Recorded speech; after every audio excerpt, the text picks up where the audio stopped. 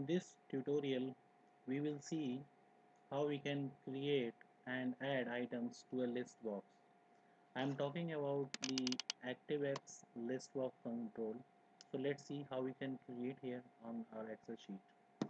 I will go to developer tab and here I will click on insert then not from this form control from ActiveX control I will select list box control and drag and drop list box here.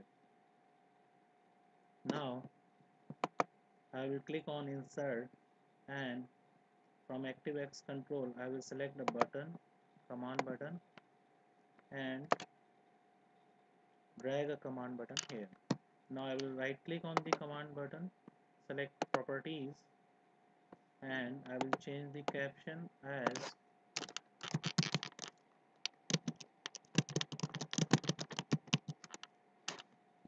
add list items. Now this is the list box. And name of this list box we can check by right click. And we can see that name is list box 1 now I will select the button and right click or even I will double click on the button then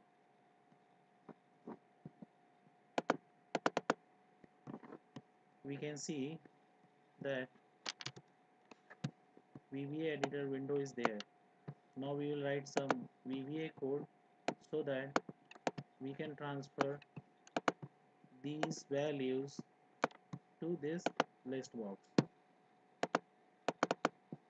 So the VBA code for this is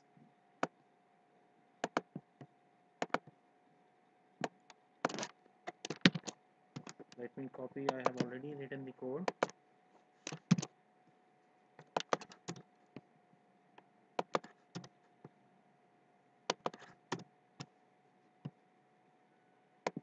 I have created a loop for i equal to 1 to 12 and next.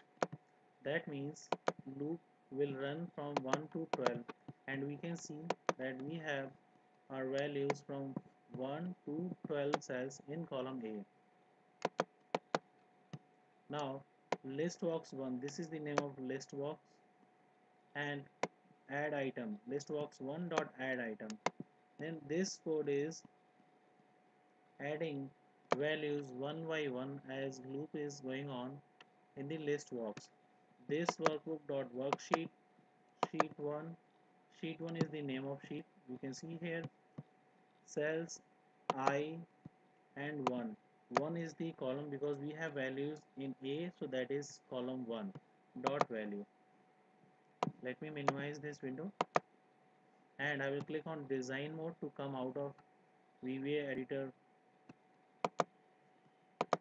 And now if I click on this button all the values from this data this table will be transferred to list box I have clicked here and now we can see that in our list box we have all the items transferred. So this is how we can create a list by using VBA code and we can add items into this list as well. How? We can go to design mode and double click on this button. Same thing if we do to add item what we have to do is code will be this where instead of loop we will just give row number. Suppose row number is 5 and column number is 10 so this line will add list item from row number 5 and column number 5 which will be this column. Let me highlight. So this is how we can create a list as well as we can add item to existing list. Thank you